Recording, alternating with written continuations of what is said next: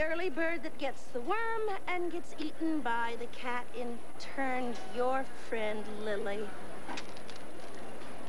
There was two bolts holding the brake on the fly rope. One of them was defective. It wouldn't tighten all the way. I I went for another one. I thought it would hold. You thought wrong, Polly. She could have been killed. I know, Mr. Thorpe. Thank God she wasn't hurt. It's been tearing me up all day.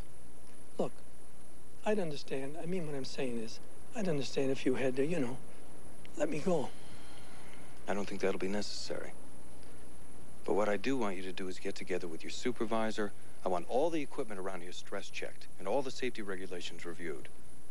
I expect a report on my desk in the morning. Yes, Mr. Thorpe, thank you. Jack. Yeah. I've got some news. We have